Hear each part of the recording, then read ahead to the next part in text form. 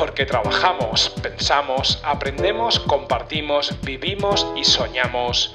En Digital, el programa por y para los profesionales del mundo digital. ¡Empezamos!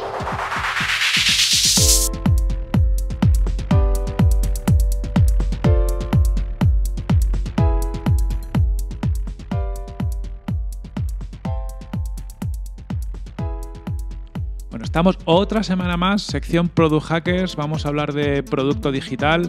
Hoy tenemos una invitada muy especial que dentro de un ratito hablaremos con ella, que es Patricia del Oro de, Venture City, con la que hablaremos de producto digital y la, su relación con el Venture Capital. Pero bueno, esto lo dejamos cinco minutitos porque tenemos aquí a Luis Díaz del Dedo, CEO de Product Hackers y conductor de, esta sección. Luis, ¿qué tal andas por aquí? Muy bien, muy buenas a todas, a todos y todas, bienvenidas y bienvenidos. Vamos a empezar eh, la sección Product Hackers, además, tenemos, tenemos cositas nuevas que contar, tío. Pues cuéntanos novedades. ¿Qué, pasa por Product Hackers últimamente antes de que nos metamos en faena? No paramos, no paramos y entonces cada vez están pasando más cosas. Eh, como sabéis, eh, aquí entre Corti y Product Hackers estamos montando el Product Hackers Day. Segunda edición. Segunda edición, que va a ser, vamos, mejor si cabe que la, que la primera. Es el 4 de julio, ¿vale? O sea que es ir mirando en la página web, ahora os la digo, para reservar plaza porque ya sabéis que luego se, completan enseguida. La, página web que tenéis que mirar para, reservarlo, lo voy a decir dos veces al principio y al final, es day, de día en inglés, punto ¿vale? Entonces, va a ser un día, como sabéis, bastante intenso. En este caso van a ser dos días, de hecho, tenemos esa novedad. Vamos a tener charlas de gente muy crack. Viene Diego Mariño, que seguramente todos los que estéis en producto conoceréis. Patricia El Loro, que vamos a hablar ahora en un ratito con ella. Tenemos también a Javier Escribano de OnTrack y también tenemos gente como Ismael Barros de Soluble, que además recientemente compartieron hace un mes y medio, dos meses, el rediseño de OnTrack y tal. Eh, son muy cracks también. Hay muchísimos más invitados eh, que, nos van a dar un buen eh, repaso de cómo hacer buenos productos digitales. Y no solo eso, tenemos también dos workshops, dos talleres que serán el día 5 de julio y eh, bueno, van a ser dos talleres súper interesantes. Revisarlo en la página web, que la repito, es day.producthackers.es. Esperamos que os registréis ahí y, que nos veamos ahí en el Product Hackers Day otra vez. El año pasado fue una pasada, aprendimos mogollón y este año es, un pasito más para adelante. Y lo que decía Luis, al final tenemos a la gente top de la comunidad de producto y nosotros tenemos muchas ganas de escucharles y de aprender. Además de esto hay novedades porque hay gente muy crack nueva aquí por la oficina, sí, Sí, sí, tenemos novedades, tenemos novedades. Una de las patitas que hemos incorporado recientemente a Product Hackers, nos parece que es un producto digital que tenía que estar en Product Hackers y es el branded content. Entonces os, vamos a, os voy a presentar ahora al que es nuestro responsable de branded content, que es eh, Ángel Mojarro, y además es, doctor en comunicación. Bueno, Ángel, cuéntanos, bienvenido, tío. Hola Luis, hola Corti, encantado de estar aquí con, vosotros. Y bueno, eh, estoy muy contento de poder haber eh, llegado a Product Hackers precisamente para hacer eh, comunicación digital y no solo comunicación digital, que realmente es mi, mi ámbito mm, de especialidad, sino que es un tipo de comunicación bastante poco convencional, que está muy ligada a la publicidad, pero eh, digamos que, tiene una, una, serie de connotaciones que lo hacen un producto único. Cuéntanos, para si alguien no tiene muy ubicado el branded content, y estoy seguro que toda nuestra audiencia lo ha escuchado, pero luego cuando preguntas qué es branded content, cada uno te cuenta su movida, cuéntanos, ¿qué es para ti el branded content? Pues bueno, eh, como en la mayoría de las facetas de la vida, habrá multitud de definiciones. Pero bueno, yo creo que si lo simplificamos todo, podríamos decir que, el branded content es un tipo de publicidad no intrusiva, en la cual eh, en el centro de la estrategia o del discurso eh, se sitúa siempre al usuario, la marca pasa a un segundo plano y eh, se intenta siempre que detrás de cada contenido se cuente una historia a través de la cual se pueden poner en valor los valores, valga la redundancia, asociados a cada una de las marcas. Entonces, eh, el usuario consume esa información, pero no está recibiendo un impacto directo y descarado por parte de ninguna marca. Entonces, digamos que hoy en día, con la cantidad de ruido y la cantidad de impactos que nos llegan a lo largo del día, digamos que es una buena forma de diferenciarse. Sí que es cierto que a partir del 2015 las marcas eh, ya vieron el potencial de este tipo de contenido y eh, aunque estamos en una etapa incipiente porque todavía hay cierta ciertas restricciones por parte de, los anunciantes y de las marcas, sí que es cierto que va a tomar un cariz bastante importante de aquí a los próximos años, estoy convencido. ¿Y se te ocurre algún ejemplo así que casi todo el mundo haya sido impactado por ese branded content para que la gente luego de repente diga, ostras, era esto? Pues yo creo que aquí en España eh, hay una marca por encima del resto que es la que ha hecho siempre una estrategia de branded content, como es Red Bull. Sabemos que es una bebida energética, pero jamás hemos visto un spot de alguien abriendo la lata y dando un sorbo, que sería lo más fácil, digamos, a la marca para presentar su producto. Siempre se estriban o siempre se, se refugian, digamos, en acontecimientos extremos. Vemos a gente patinando, gente saltando desde un avión con un, con un paracaídas, vemos como un contenido súper bien elaborado que lleva consigo los valores asociados a Red Bull en este caso, pero que realmente el producto no lo ves nunca por ningún lado y creo que es eh, digno de, imitar. Me parecen mm, una marca que siempre ha tenido una estrategia súper bien definida y que sabe cómo ganarse al público. Ahí la tenemos. Muy, muy buen ejemplo, ¿verdad, Luis? Totalmente, tío. Red Bull, además, a mí es que siempre me ha encantado por ese motivo, porque el, el branded content que ha hecho es brutal. De hecho, vamos, el máximo exponente de, de branded content de Red Bull es el salto este desde la estratosfera, o desde, perdón, los que, los que seguramente he dicho estratosfera, a lo mejor no lo es, pero desde, 11.000 metros o whatever, que saltó ahí y tal, pues claro, ese es el momento máximo, todo el planeta pendiente de ese momento, y es una campaña publicitaria muy bien ejecutada. Exacto. De hecho, el nombre del chico hay mucha gente que no lo sabe, pero todo el mundo sabe asociar que esa acción es de Red, Bull. Félix Van Warner. el apellido no sé pronunciarlo. Yo lo sé, pero no sé pronunciarlo. no, pues Ángel, muchísimas gracias. ya sabéis que los que queráis Branded Content aquí desde Product Hackers hacen, se hacen cositas, cotillar un poco la web, que enseguida, aparte, cuando se publique esto, habrá nueva web y, y aparecerán servicios el Branded Content. Y te tendremos otro día hablando con más calma, largo y tendido de estos temas. Porque ya sabes que, estoy encantado de estar contigo, con, Luis, con Product Hackers y nada, cuando necesites, ya sabes que estoy a, tu disposición. Si queréis que vuelva, tenéis que poner tweets diciendo queremos al doctor Mojarro y entonces ya... No, no, no, no. Queremos al doctor Mojarro en Twitter, ¿vale? Muchas gracias por estar con nosotros, Ángel, tío. Gracias a vosotros. Luis, tú y yo nos vamos casi de la mano, nos vamos a la oficina de Ventus City y vamos a entrevistar a Patricia. Vamos allá.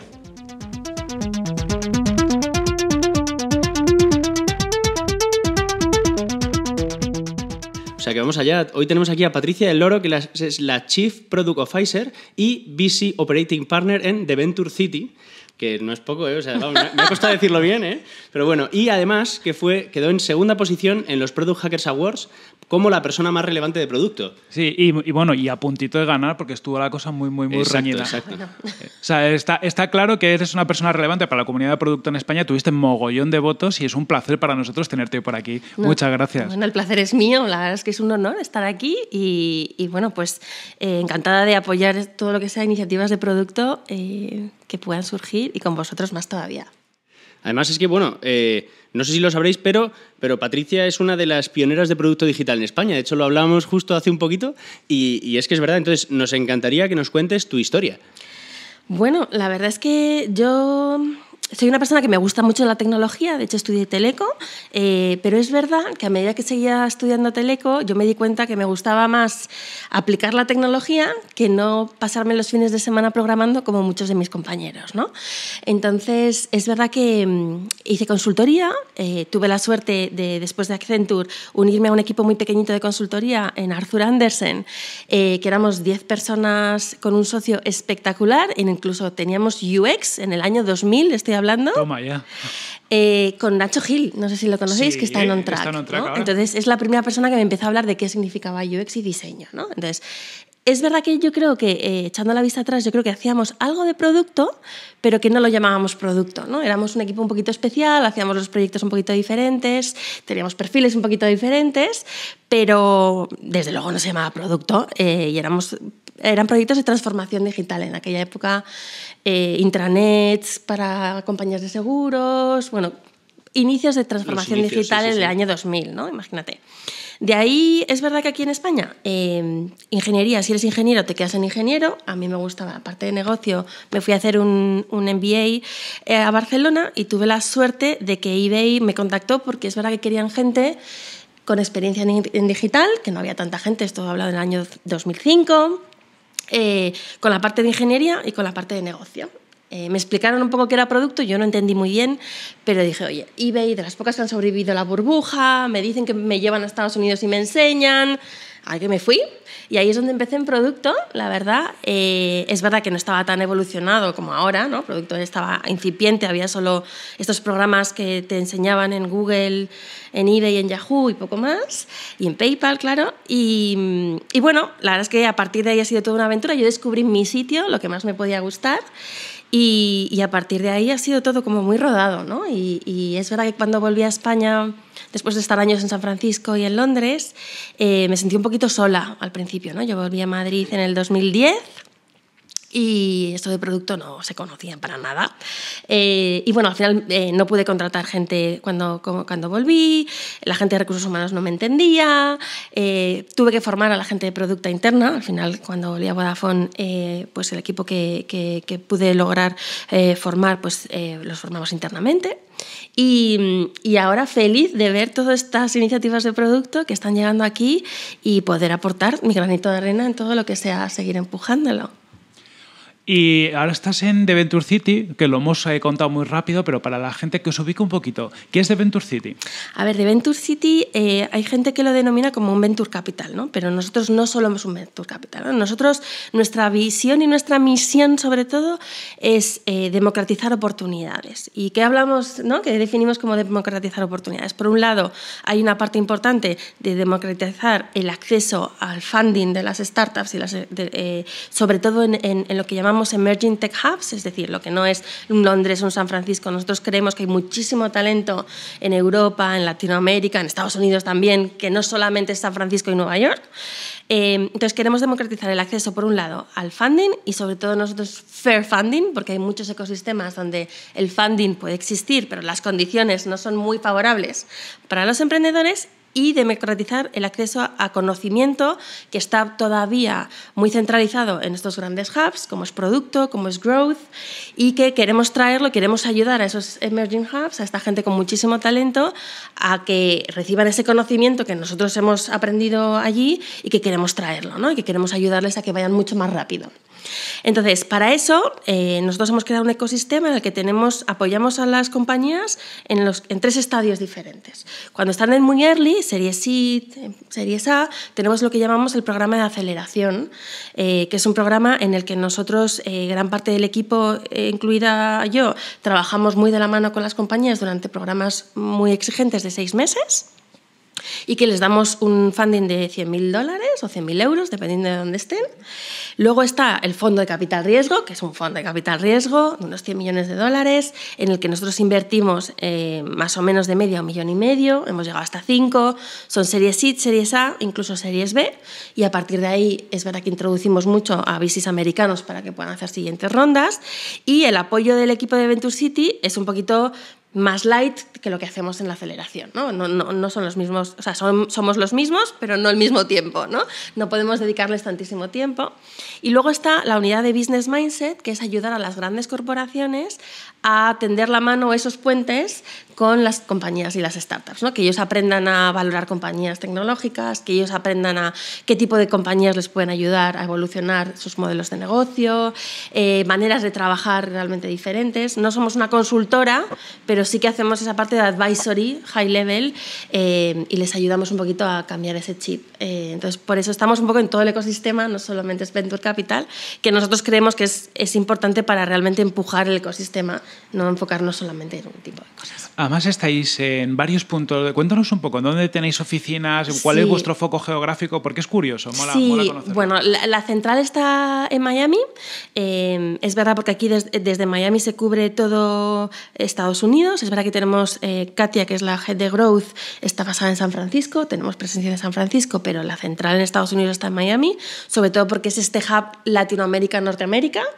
Eh, entonces nosotros invertimos en Estados Unidos, invertimos en Latinoamérica eh, tenemos, por ejemplo, el que lleva mm, el programa de aceleración para Latinoamérica y Estados Unidos está basado en Sao Paulo, que es Ricardo, que se ha incorporado hace poco, que era el head de Pinterest hasta, hasta ahora. Buenos perfiles tenéis. ¿eh? Sí, sí, sí, sí, no, estamos felices. La verdad es que Ricardo fue uno de los primeros de Growth también en Facebook, luego estuve en Microsoft, luego ahora está en, en Pinterest. La verdad es que conoce mucho el ecosistema y puede ayudar mucho en ese sentido. Y luego tenemos presencia aquí en Madrid, que es la segunda oficina más grande, yo te diría, de Venture City, en el que cubrimos Europa y esa conexión Europa-Miami, Latinoamérica, Norteamérica. ¿no? Em, y luego también tenemos una persona del equipo de ingeniería en El Salvador. Nosotros somos remotos, somos internacionales Creemos en las compañías que, que, son internacionales, que se quieren internacionalizar, que tienen esa ambición y que se puede gestionar perfectamente, con buena voluntad de todo el mundo. Qué bueno. Oye, además yo tengo que decir una cosa. Lo primero, si tenéis algún proyecto que sea interesante, eh, yo, yo miraría de Venture City porque es súper, vamos, eh, por lo que habéis contado a mí me encanta, ya lo sabes, ya lo hemos hablado alguna vez, que me gusta mucho vuestra filosofía.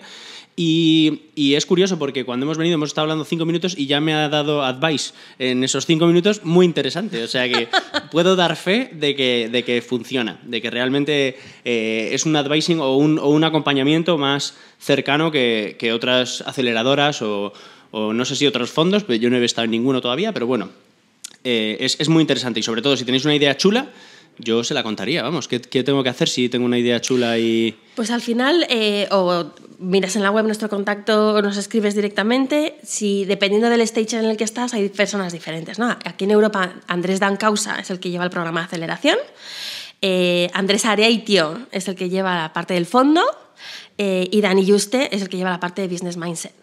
Entonces, si quieres directamente contactarles a ellos o a mí, yo redirijo a quien sea la persona adecuada. ¿Y deberíamos tener o cumplir algunos criterios mínimos? O, cómo, por ejemplo, ¿cuál sería el caso maravilloso en el que, buah, según vengo, ¡pam! Depende del stage, ¿no? Por eso te digo, nosotros cuando vienen unas compañías, el producto tiene que estar en el mercado, nosotros no invertimos en ideas, entonces tienes que tener el producto y tienes que tener métricas. No necesariamente tienes que estar monetizando. Nosotros venimos de compañías que no han monetizado en años.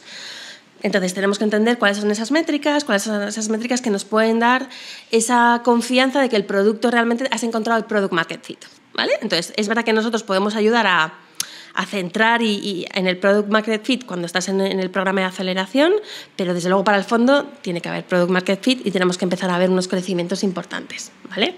Las rondas, ya te digo, nosotros invertimos pues una media de millón y medio, entonces ya son rondas un poquito más avanzadas. Sí, es que es un ticket, es muy chulo para lo que es España, yo creo que es un ticket, vamos, es interesante, pero claro, el producto también tiene que estar avanzado. ¿no? Entonces, eh, nosotros cuando es, cuando es más early stage, preferimos aceleración porque ahí es donde nosotros podemos aportar mucho más. Bueno, y además también veis cómo se desarrolla la empresa, conocéis un poco mejor a los emprendedores. Luego, luego es verdad que cuando termina el programa de aceleración, si van como un cañón, que espero que todas vayan como un cañón, y de hecho hay muchas que ya están eh, buscando siguientes rondas, o bien nosotros, nosotros no podemos invertir en absolutamente todo, pero sí que a lo mejor podemos redirigirles a los fondos adecuados, sobre todo estratégicamente, ¿no? Al final una inversión, un inversor es yo creo que es más importante que un matrimonio, ¿no? Entonces, o eliges bien a tus acompañantes de... No, no, porque en un matrimonio te divorcias, pero aquí hemos visto de todo, ¿no? Entonces, o eliges muy bien tus inversores y los eliges estratégicamente para que lo que quieres conseguir, dinero, dan money, hay mucho, ¿no? Entonces hay que ser ahí, les ayudamos bastante en entender eh, bajo qué condiciones y con quién mejor aliarse, ¿no?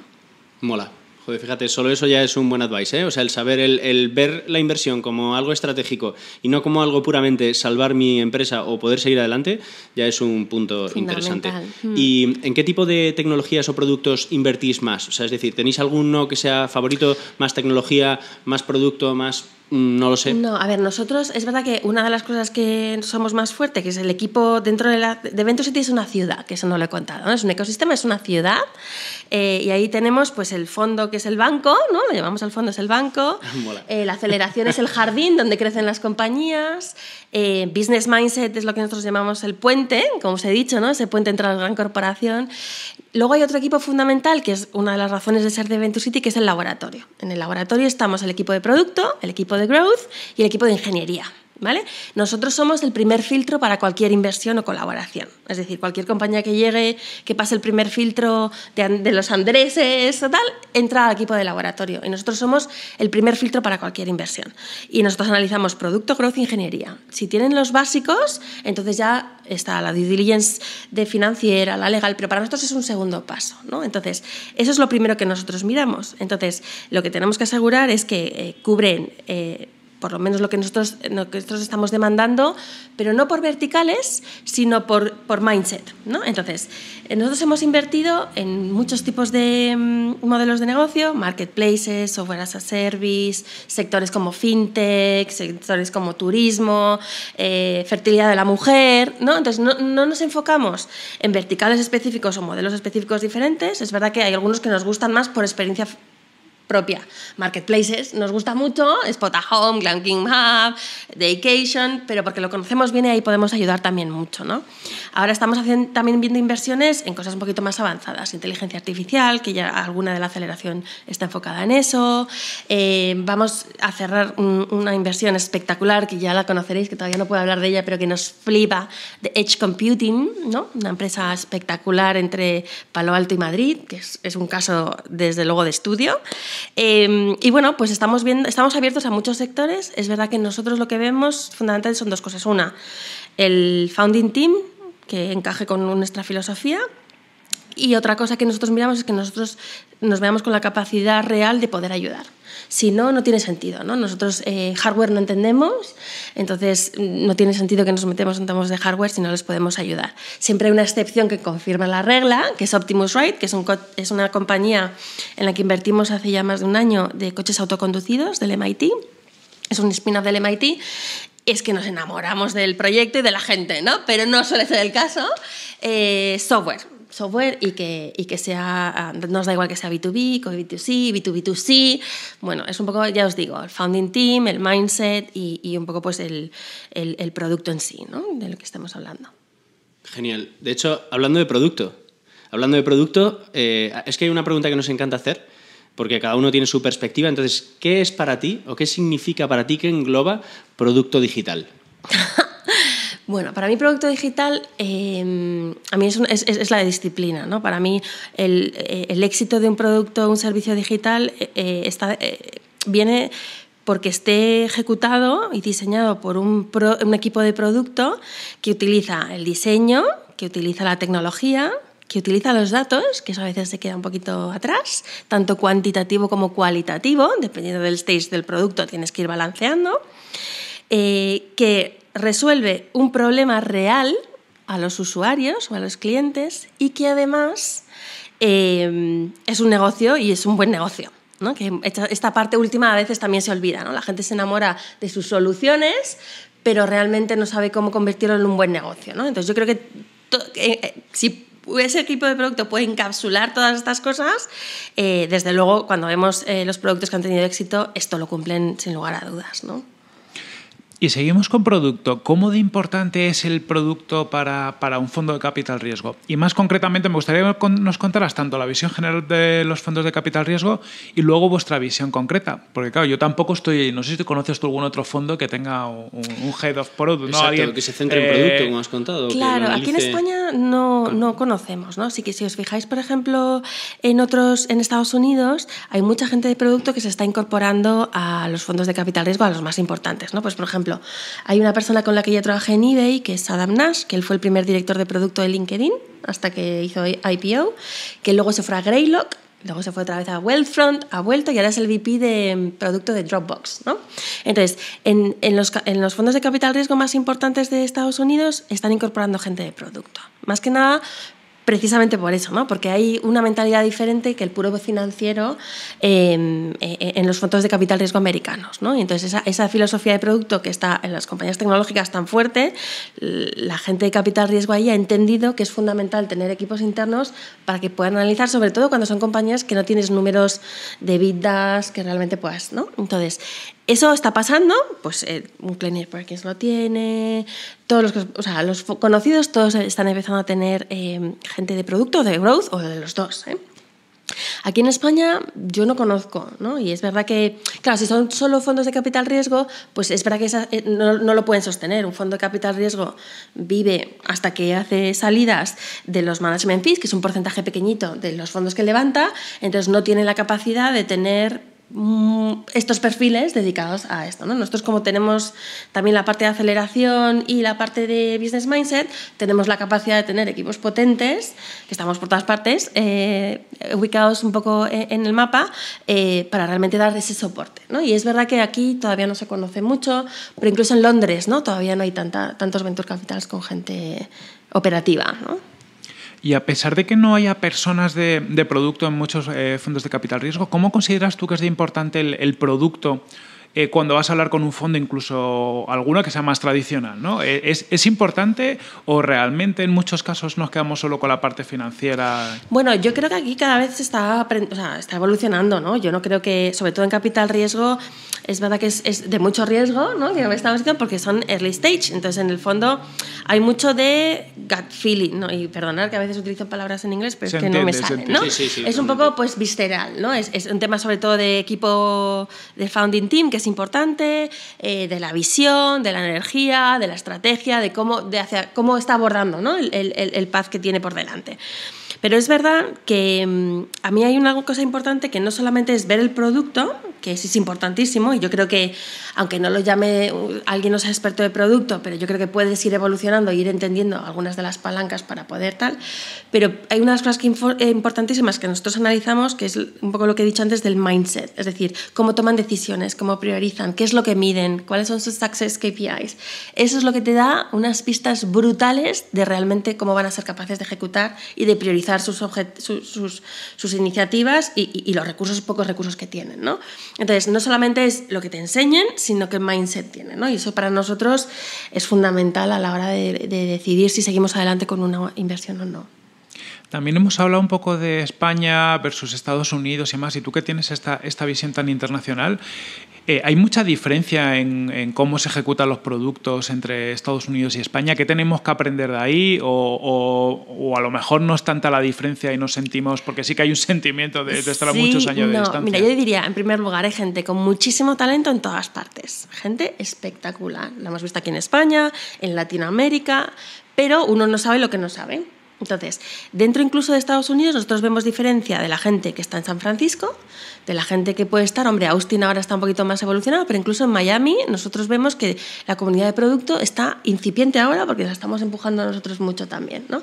Entonces, no solamente Estados Unidos en general, es decir, hay hubs súper avanzados en producto, que es algo que ellos tienen en el ambiente y que tienen mucha gente que tiene mucha experiencia en todas estas compañías que han crecido y que se han ido desperdigando toda esta gente, em, en San Francisco y en Nueva York, en Austin un poquito más, pero fuera de eso, en Miami, producto, todavía no es esa disciplina ni hay tanta gente con experiencia ahí. ¿no? Entonces yo diría que la diferencia está en que haya ecosistemas con gente con experiencia en estas disciplinas que realmente puedan empujar ¿no? ese conocimiento, que en el fondo es si hay gente con talento, tú en cuanto les enseñas cuatro cosas, la gente es lista y lo puede aprovechar al máximo, ¿no? Pero vuelvo a decir, ahora yo creo que cada vez la gente va leyendo más. En Estados Unidos es verdad que en San Francisco se ha generado esta moda de eh, contar mucho, los medium posts, que yo creo que ha ayudado un montón a que la gente empiece a descubrir qué es esto de producto, qué es esto de growth, ¿verdad? Eh, entonces la gente empieza a saber, no, se sabe lo que no se sabe, ¿no? Y, yo estoy, nosotros estamos convencidos un poco, volviendo a lo que os decía, nosotros queremos democratizar ese conocimiento, ¿no? Y traerlo a esos emerging hubs que creemos que hay gente con muchísimo talento, que con poco que les enseñes la gente va, va a salir eh, disparada, ¿no? Y ese es el objetivo nuestro, de hecho. ¿Y cuáles serían los, tú que también muchas startups, ¿no? los principales errores que cometen las startups desde la perspectiva de producto y cómo se pueden un poco corregir? Vale, yo creo que nosotros lo que vemos es, eh, tienen buenas ideas, eh, quieren sacar productos perfectos y el producto perfecto es, cuando sale es demasiado tarde entonces yo creo que eso es fundamental, que la gente entienda que tiene que entender cuál es el mínimo producto viable, pero que de verdad sea un mínimo producto viable que realmente te pueda dar la información que necesitas, porque hay veces que se lanza el mínimo producto viable que no te va a enseñar nada y que no vas a aprender demasiado porque es tan mínimo que no te va a aportar nada. Entonces, encontrar ese balance no es fácil, la otra parte fundamental que nosotros, que nosotros vemos que a la gente le falta es esa disciplina de toma de decisiones en base a datos tanto qualis al principio como quantis, instrumentar bien sus productos digitales y elegir los KPIs fundamentales que van a redirigir que van a dirigir sus eh, toma de decisiones en cuanto al roadmap. De hecho, yo, ahí quiero recordaros que ha comentado ya dos veces el tema de los KPIs, qué KPIs medís, cuáles son los relevantes y cómo eso determina vuestra cultura y vuestra forma de trabajar. O sea, que a mí, vamos, yo es que digo, voy a, recalcarlo porque me parece súper crítico. Sí, sobre todo, fíjate, nosotros lo que tenemos es, además dentro del equipo de laboratorio, tenemos un data science. Nosotros lo que hacemos en la due diligence es conectarnos a los sistemas de las compañías. Fenomenal que nos mantengan sus datos, pero déjame conectarme a tu Amplitude, a tu Mixpanel, a tu Google Analytics, que yo te cojo la información y analizamos, hacemos quick ratios, hacemos un montón de, KPIs y muchos análisis que normalmente la gente no tiene capacidad de, de, poder analizar sus datos de esa manera, aunque los tengan medidos, instrumentados, porque lo primero es tenerlos bien instrumentados, que eso es uno de los mayores problemas que tenemos en muchas de las compañías. Pero una vez que están bien instrumentados, esos análisis y, y, esa, y esa exportación de datos y ese number crunching que hacemos nosotros para las compañías, pues la verdad es que lo agradecen un montón y te da una claridad de comportamiento de tus usuarios dentro de sus productos que normalmente no tienen. ¿no? Entonces, eso fundamentalmente es, es, lo que vemos. Entonces, una vez que tienes esos datos y esos dashboards, es lo fundamental para, para empezar a tomar decisiones. ¿no? Oye, ¿dónde estoy fallando? ¿Qué tengo que hacer? ¿Más la parte de activación, más la parte de retención o ese engagement? ¿Cómo puedo crear esos growth loops y medirlos bien y que realmente me aporten al negocio? Porque si os acordáis de la definición que os he dicho antes de producto, la última es negocio, y es negocio, ¿no? Hay mucha gente que se emociona, un look and feel molón, molón, pero tiene que haber un negocio por detrás y un negocio fuerte, ¿no? Entonces, em, al final, vemos un poquito de travesía en el desierto entre tu idea de producto y realmente cuáles son esos objetivos, tanto de producto, esos KPIs de producto y de negocio, cómo lo conectas, ¿no? Y, y puedes hacerlo a través de OKRs, como lo puedes hacer como te dé la gana, pero tienes que priorizar adecuadamente las iniciativas que te van a llevar a conseguir esos objetivos de negocio y de producto. ¿no? Y ahí es donde más vemos que la gente se atasca un poquito. O sea, concretamente, o sea, se atascan en el, en el, momento en el que intentan relacionar sus KPIs o los que van midiendo con el negocio. Se atascan, fíjate, primero en entender cuáles son los KPIs relevantes de producto que van a tener el impacto que ellos quieren en el negocio. Ajá.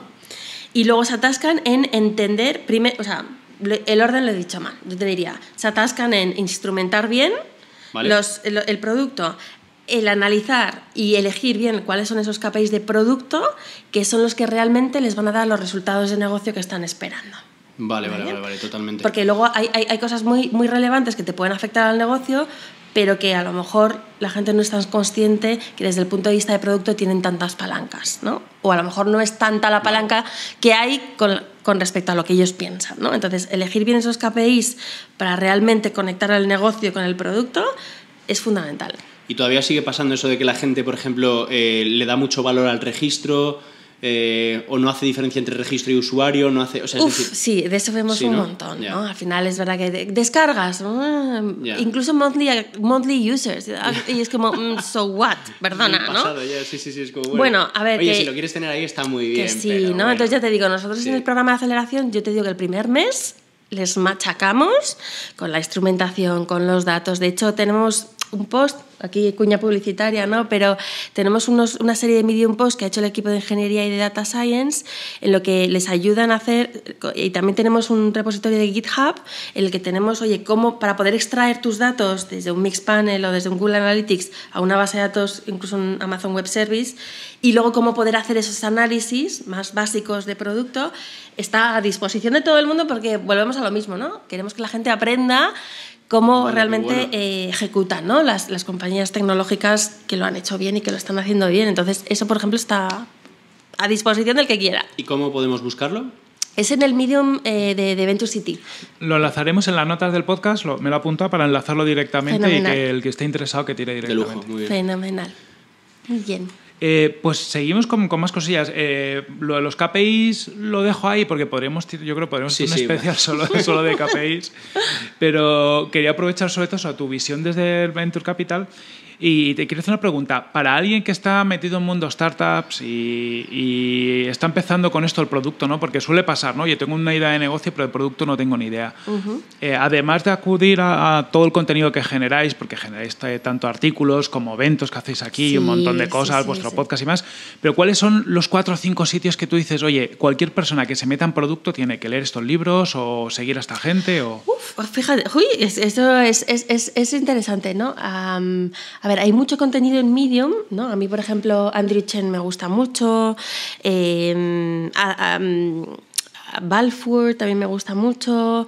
Eh, hay un montón de contenido, tanto en Twitter como en, en, en, Medium eh, en Estados Unidos. ¿no? Aquí en España eh, hay charlas que ya están empezando. ¿no? El Product Meetup está tal, Product Hackers, evidentemente, es, un, es un referente. Hay algunas escuelas, por ejemplo, Hero Lab, que está teniendo pues, cursos de, de, Product Managers, Product School, que también aquí ha lanzado, aunque crea solo, sea solo online. Entonces, está empezando todo esto a surgir poco a poco.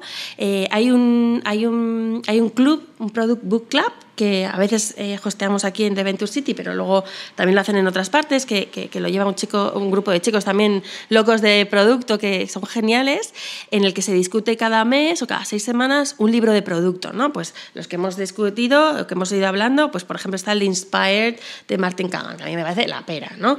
Hay uno de Platform Scale que a mí me encanta también, ¿no? Sobre todo porque es la siguiente evolución de cómo crear negocios plataforma, no solo nichos, ¿no? O muy verticalizados, ¿no? Entonces, a mí eso me encanta porque es como el siguiente paso de un marketplace que reconozco que a mí me mola, ¿no? Entonces, bueno, em, ahora es el último que se va a, hablar a la vuelta de Semana Santa, creo, esta semana, bueno, creo que es, esta semana, es eh, Product Roadmaps, ¿no? que ya empiezas a hacer cosas como mucho más específicas. ¿no?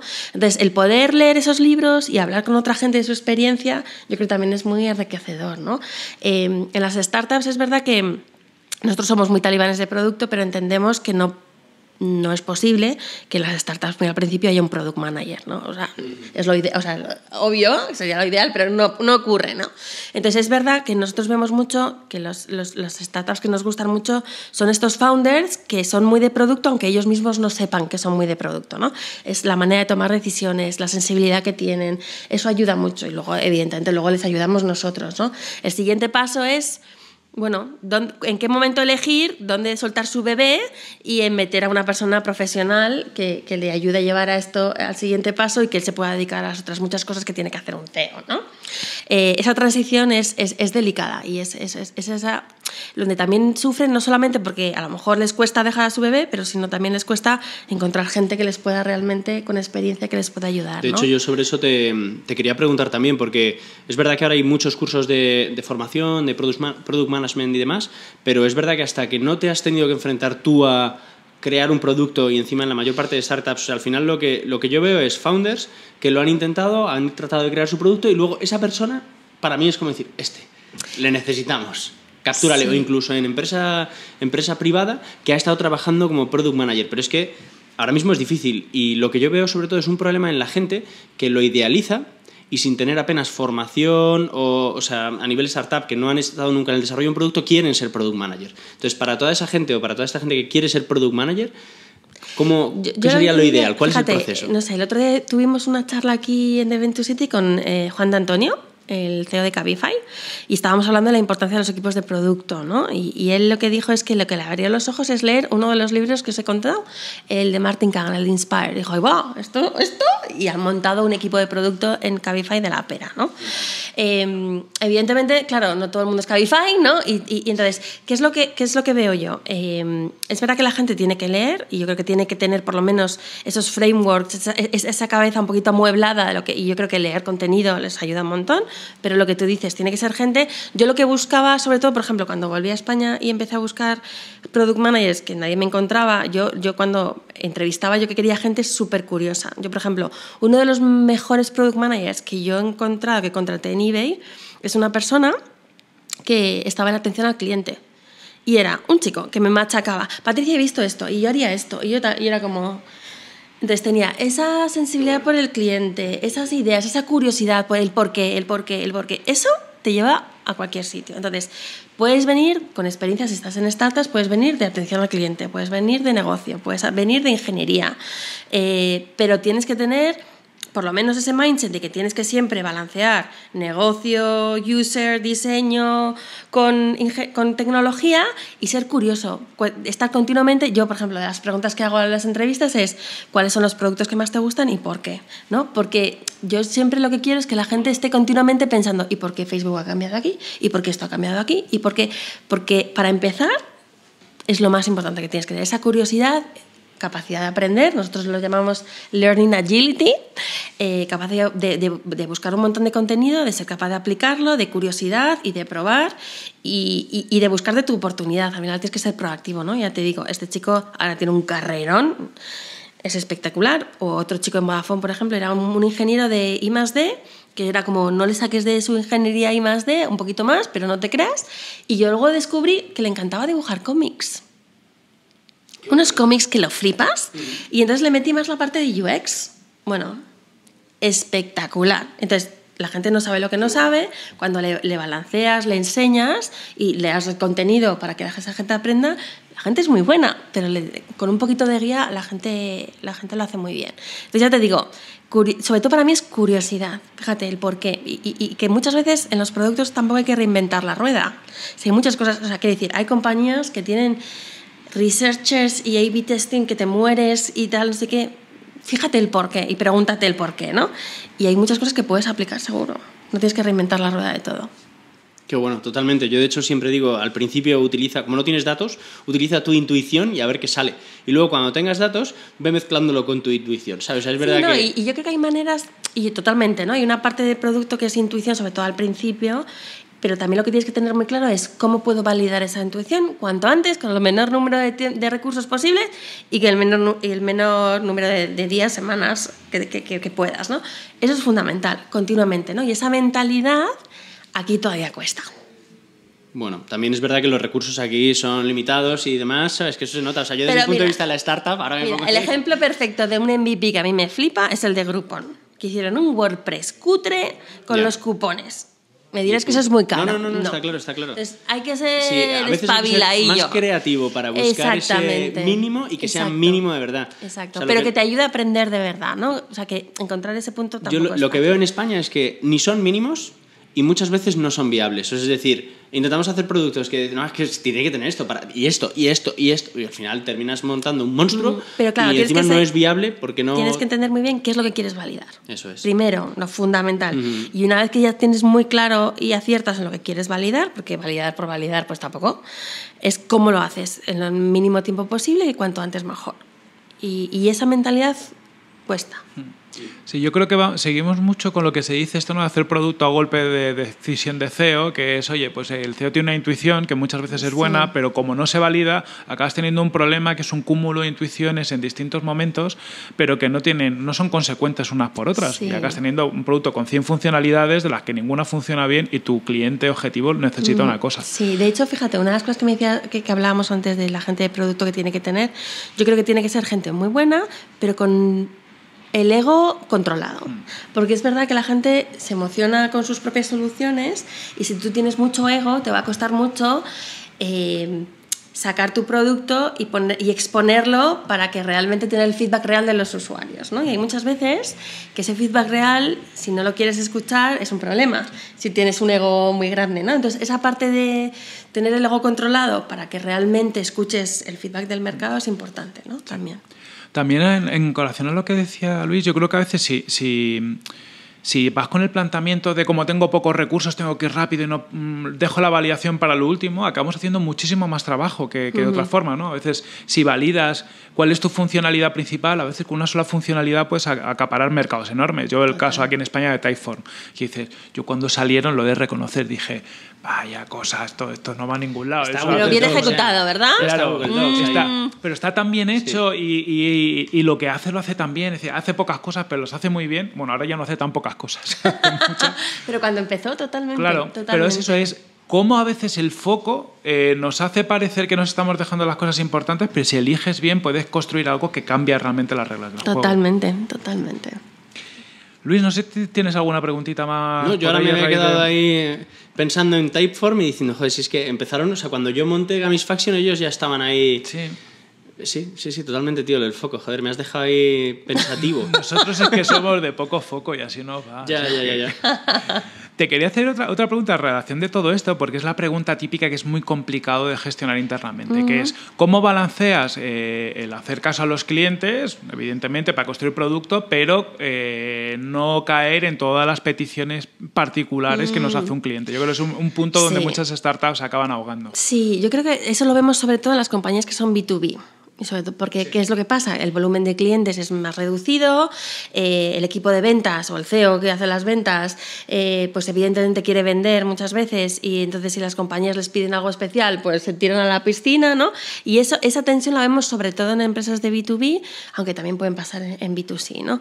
Al final sí que es verdad que la labor del Product Manager es entender, es, ser capaz de destilar todo ese feedback en, eh, en organizarlo en buckets de, oye, cuáles son los insights que están por debajo de esas peticiones, ¿no? esas necesidades que están por debajo, a lo mejor no tan articuladas, pero que están por debajo, que son más comunes, y realmente si lo que ellos están, los usuarios están diciendo que, que, es lo que les arreglaría ese problema, es de verdad, sí, porque a veces es simplemente entender oye, esas necesidades que a lo mejor no están tan articuladas, a lo mejor hay otra manera de solucionarlo y, puede eh, ser aplicable a un volumen mayor de usuarios que tengas. ¿no? Entonces, ser capaz de tomar con perspectiva ese feedback, ser capaz de entender los insights y las que son realmente más importantes desde el punto de vista de volumen y, entender sobre todo esas necesidades por debajo que realmente están a lo mejor haciendo que estas peticiones ocurran y realmente ser, tener la disciplina de ver si realmente esto está alineado con tu visión de hacia dónde quieres ir, ¿no? Porque hay veces que son un poquito más de ruido. Entonces, ese balance es yo creo el arte de la gente de producto, ¿no? Eh, que no hay un árbol de decisión de ingeniero, ¿no? Hay, hay, una parte de experiencia que también te va dando ese feeling ¿no? y, esa, y esa intuición a veces de decir, bueno, sí, esto sí, pero lo que vemos es bastante guerra, sobre todo en los B2Bs. Ahí cuesta muchísimo porque la gente se enfoca mucho en el corto plazo de hacer este deal y sobre todo cuanto más, mayores, más grandes son los clientes B2B, ahí la tensión es importante. ¿no? Entonces, ahí una de las cosas que nosotros eh, trabajamos mucho con las compañías que son B2B aquí es precisamente eso, el parar un poquito el, el, el ímpetu de hacer absolutamente todo lo que quiere el cliente ¿no? y pensarlo, pensarlo un poco. Además, lo que has dicho es, es muy relevante, que es el, el, tema de que muchas veces te piden algo, en B2B, una funcionalidad concreta, porque van a, te plantean la solución como ellos la harían pero realmente no te están explicando cuál es el problema que tienen. Y muchas veces el problema eh, está un poquito más alejado de lo que parece y lo podrías resolver de una forma mucho más fácil, o a veces es que ese problema no es cosa tuya, es, oye, pues es que esto deberías mirarlo en tu RP o mirarlo de, de otra forma. Total, total. Y eso, y eso, a veces, pues eso, la gente, evidentemente, yo entiendo las startups quieren en el corto plazo cerrar los deals y, y, de verdad que lo entendemos, ¿no? Pero hacerles un poquito de step back y que realmente piensen eh, eh, es, es importante. Y nos ha pasado con varias, ¿eh? cada vez lo vemos más. Es que además lo que estás comentando también, eh, al final eh, yo creo que el product manager tiene que tener una capacidad para gestionar personas brutal, ¿sabes? Porque tienes por encima un CEO que está intentando hacer una venta modificando algo y tienes que convencerle de que no es lo adecuado para el producto. Por debajo tienes al equipo técnico que, bueno, pues también tiene sus historias y hay que saber gestionarlo, que son, suelen ser gente pues muy especial, ¿sabes? Como todos, todos somos especiales, pero yo estaba allí desarrollando y entonces tú tienes tu, tu, sensación y tu perspectiva de producto, el product manager tiene otra, el CEO tiene otra y, hay que, y es el que le toca lidiar con todo eso. Total, pero precisamente, o sea, para mí cuando, o sea, un perfil potente de producto no solamente es el que técnicamente pues, pues sabe pues, de negocio, de diseño, de tecnología y puede hacer, tomar las decisiones adecuadas, pero la otra parte fundamental son esos soft skills. ¿no? De hecho, yo me acuerdo eh, en, el programa, en el proceso de selección en eBay es brutal. ¿no? Aparte de eh, esas entrevistas de la parte más técnica, a nosotros nos hacían hacer y hacíamos hacer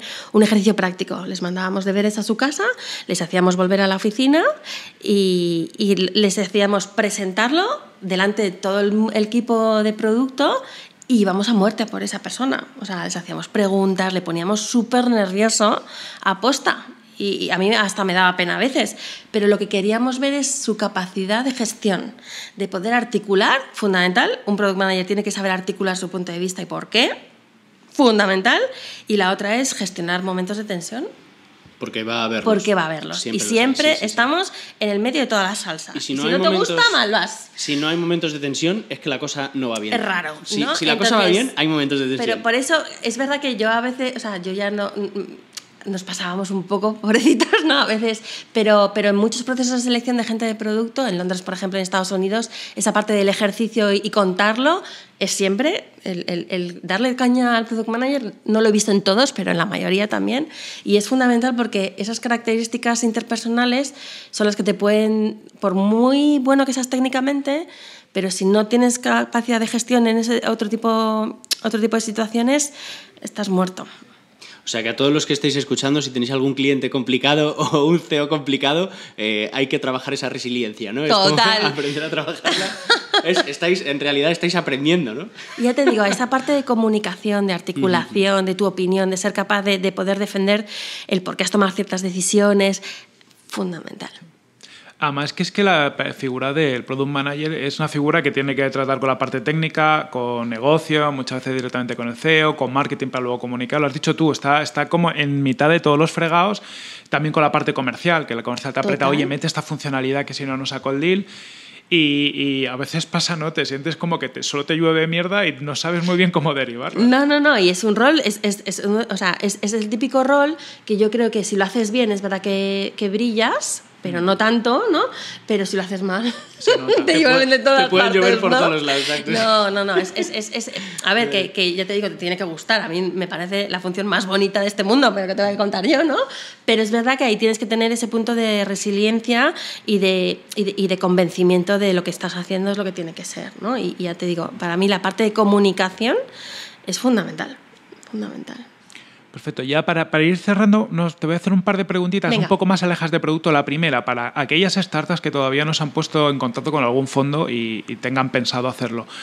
¿Cómo crees que es la mejor forma de acercarse? ¿no? Porque eh, yo recuerdo 10 años atrás, cuando la primera vez que me acercaba yo a un fondo y me sentía como un pimpín ahí, como diciendo, ¿y ahora qué, qué le cuento? ¿Qué, ¿Qué consejos le darías a esta gente? Yo diría dos cosas. Uno es que no empieces a hablar con fondos de capital riesgo eh, cuando quieres levantar el dinero en poquitos meses, yo creo que hay una parte importantísima que es construir la relación con los fondos de capital riesgo a lo largo del tiempo, que te conozcan, eh, que te hagan haciendo seguimiento, que vas mandando, ve mandando updates de vez en cuando de cómo vas, porque al final invertir en tan early stage es una relación de confianza. Entonces, si tú conoces a la gente, eh, a los fondos que te puedan interesar y que les, les conozcas, que les mandes updates, que, les, que te vayan conociendo, eso es fundamental. Eso desde el punto de vista de relación de confianza, ¿vale? Luego hay una parte más pura de qué contar, ¿no? Hay, una hay, hay, varias cosas. Sobre todo en early stage, yo diría, uno, es la solución, ¿no? ¿Cuál es, cuál es que, tu visión y, cuál es esa solución que quieres, que quieres, que quieres em, desarrollar o que estás desarrollando?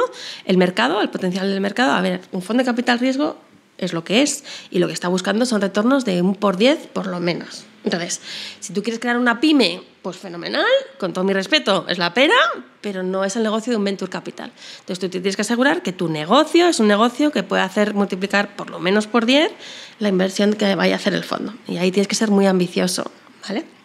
Entonces, que el mercado en el que tú te estás enfocando realmente tenga hueco para esa ambición, porque si no, tampoco, ¿no? Otra cosa fundamental es el equipo, el founding team. Entonces, que ese equipo esté bien montado, que sean perfiles complementarios, pues alguien de negocio y alguien de ingeniería, de IT, eh, desarrollo, eh, que esos, ya te digo, que sean eh, un equipo muy potente y complementario. Eso es fundamental. Y luego la otra parte que, que, nosotros miramos es esa parte de mindset, cómo toman decisiones, en base a qué, cómo han llegado hasta donde han estado y qué, cuáles son los pasos que quieren seguir para conseguir sus objetivos en los próximos seis meses, el próximo año. ¿no? Con eso para nosotros ya empieza a ser interesante. Oye, pues buenas claves. Ya sí, totalmente. Eh, yo reconozco que muchas de estas cosas no las tenía claras cuando buscábamos inversión. vale. luego ir con esto ya preparado es, vamos, Sí, ayuda incluso, aunque no busques inversión, te ayuda, te ayuda, internamente a, tener las cosas mucho más claras. Eh, te voy a hacer una pregunta un poco comprometida, pero bueno, puedes contestar como quieras. De todas las empresas que tenéis en The Venture City, seguro que hay empresas que a nivel de negocio son la leche, o sea que cada una tendrá sus, sus, características. Pero te voy a preguntar por tres que a ti particularmente te gusten desde la perspectiva de producto. Oye, pues porque tengan productos muy innovadores porque te toquen a ti la fibra personalmente, suele, suele pasar, ¿no? Que hay algunos que te hacen más tilín o porque su forma de construir producto sea particularmente potente. Ay, ves que me parece un compromiso delante de todas nuestras compañías del portfolio. A ver, yo te diría, a mí los marketplaces me encantan, ¿no? Mi historia en eBay, la verdad es que, que, me enseñó un montón y, y, me gusta mucho, entonces yo te diría, cualquier compañía del portfolio que sea un marketplace me flipa. Spotahome, Glamping Hub, Boatsetter, eh, Vacation, tenemos unas cuantas, ¿no? Entonces, eso a mí me encantan y yo creo que ahí les podemos ayudar un montón y estoy trabajando con ellas y me encanta.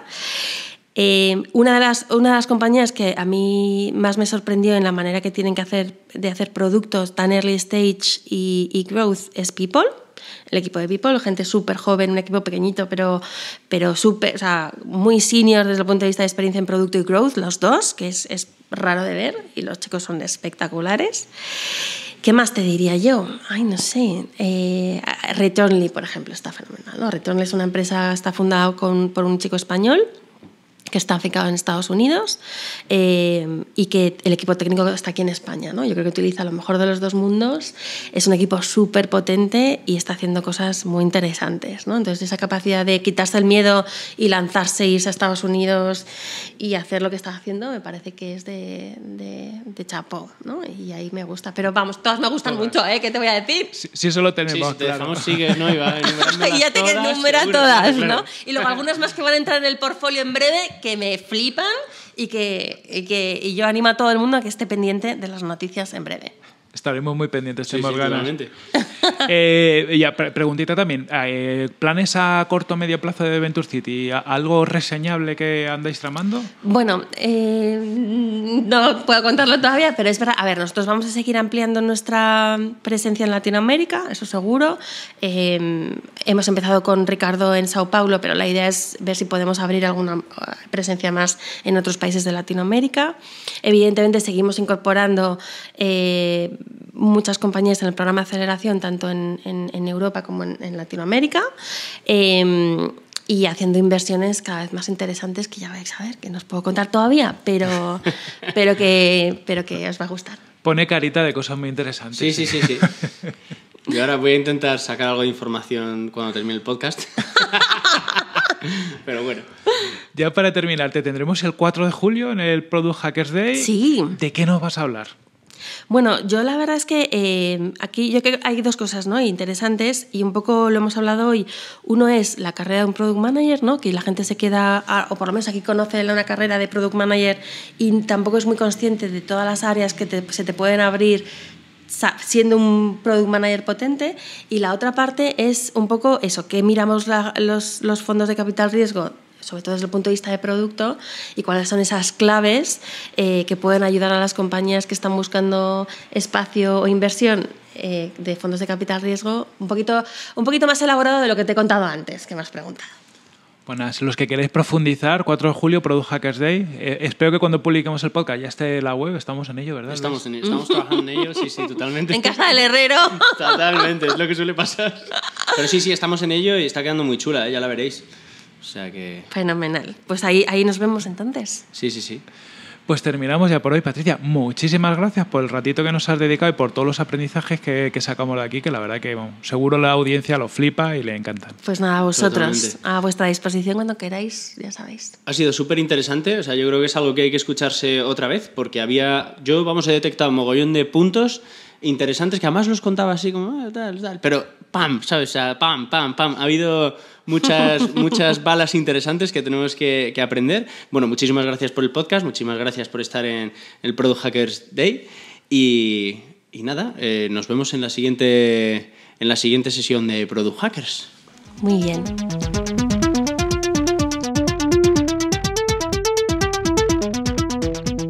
Espero que hayáis disfrutado de esta entrevista con Patricia del Oro, tanto como lo hemos hecho nosotros grabándola. La verdad que hemos sacado muchos, pero que muchos aprendizajes, tanto del rol, del rol del Product Manager dentro de startups y empresas tecnológicas, como de la importancia del producto digital tanto en el mundo startup como a la hora de, eh, enfrentarte, ¿no? acercarte al, mundo. Gracias a, Patricia por el tiempo que nos ha dedicado a esta entrevista y también a todos vosotros por escucharnos hasta el final de la misma. Si os ha gustado el episodio, os agradecemos muchísimo de todo corazón si nos dejáis una bonita review en iTunes, o en el canal a través del cual nos estéis escuchando. Eh, así nos ayudáis a llegar a una nueva audiencia y que otros profesionales digitales puedan descubrir también estos contenidos que, que creemos que pueden ser de valor para, para una nueva audiencia. Recuerda que en nuestra página web en punto digital, en tienes los enlaces a todos los canales en los cuales publicamos nuestro podcast. Ya sabéis que estamos en iTunes, iBox, Spotify, TuneIn y un montón de, canales. Y también desde ahí mismo tenéis el enlace de suscripción a nuestra newsletter, donde cada semana publicamos una gran selección de contenidos de interés para profesionales del mundo digital, tan variados prácticamente como nuestros episodios. Os hago un mini resumen de los próximos eventos en los cuales vamos a participar de una forma u otra en las próximas fechas, por si alguno es de vuestro interés. El 22 de mayo estaremos en Madrid en el B2B Sales Congress hablando de e-commerce B2B. El 23 de mayo organizamos un evento sobre inteligencia artificial. Hablamos de los mitos y realidades de la inteligencia artificial aplicada en el mundo de la empresa aquí en Madrid, en el Singular Hub. El 29 de mayo estaré en Barcelona en el S-Marketing, que es el evento organizado por Cyberclick. Yo estaré hablando de, remarketing, pero en el evento se hablarán de, bueno, de nuevas técnicas de marketing sobre todo de, de qué formas podemos utilizar las técnicas de marketing actuales de una forma más inteligente para conseguir mejores resultados. Y también para acabar, tal y como habéis escuchado en el episodio de hoy, el 4 de julio organizamos la segunda edición del Product Hackers Day. Lo hacemos en, en Madrid, en el Campus Madrid, y tenéis todo la información en su página web. Tenéis enlaces directos a todos estos eventos desde, desde las notas del podcast, así que nada, os animo a que vayáis a las mismas y os vayáis a, a los eventos y os apuntéis en todos ellos, o al menos en los que os parezcan interesantes. Acabamos ya con, esto, con el episodio de la semana. Y para ello os mando un fuertísimo abrazo, os deseo la mejor de las semanas o fin de semana en función de cuándo nos estéis escuchando. Y os dejo con una cita de Sam Altman, que es el presidente de Y Combinator, una de las mayores aceleradoras del mundo y una persona que conoce muchísimo del mundo del, capital riesgo y también del producto, porque de Y Combinator han salido eh, productos que todos conocemos como por ejemplo Dropbox, ¿no? que es el gran producto que que, salió ya hace muchos años de Y Combinator, luego han salido muchísimos más, pero que está en, la mente de todos. Bueno, según Alman, eh, en relación al, Venture Capital y al producto, eh, en el largo plazo los grandes productos ganan. No te preocupes de que tus competidores levanten mucho dinero o de todo lo que podrían hacer en el futuro. Probablemente no sean muy buenos de todos modos. Muy pocas startups mueren por culpa de la competencia la mayoría muere por su propia culpa.